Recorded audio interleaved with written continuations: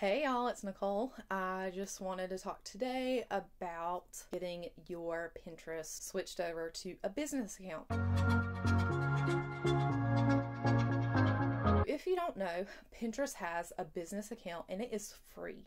Anyone can use it, and I highly recommend it, especially for bloggers, small business owners, online entrepreneurs, those looking to grow an online business. First off, you can switch your account to a business account. It's very easy. You just go into your settings and you can switch it over to a business account. This is going to allow you to track your analytics, very important, because you can see then what is getting repinned, what is getting saved, what's growing and sending traffic to your website.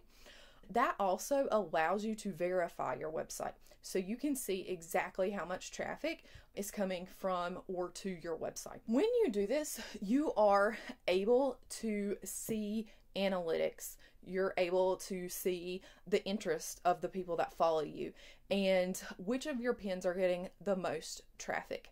I highly recommend switching over to a business account and utilizing those analytics.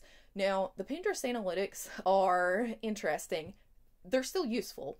A lot of people will take those viewer numbers and seen numbers to heart, but what you really want to hone in on is what pins are doing well and can you remake those? Can you repackage those to send more traffic to your Pinterest, to, which essentially is going to send more people to your site or to your blog. You can also, on business accounts, set up rich pins. You can set up shoppable pins. I'm not sure if you know this or not, but 70% of Pinterest users are using Pinterest to make purchases, to pre plan those purchases. They will plan months in advance, usually about 45 days out. They will plan and collect ideas because that's what Pinterest is essentially, is it's a hub to collect ideas. Then they will end up purchasing.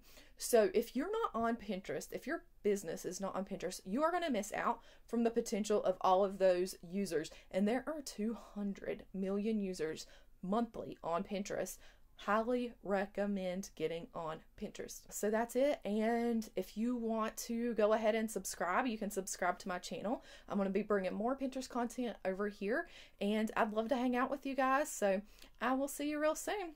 Thanks for hanging out, y'all.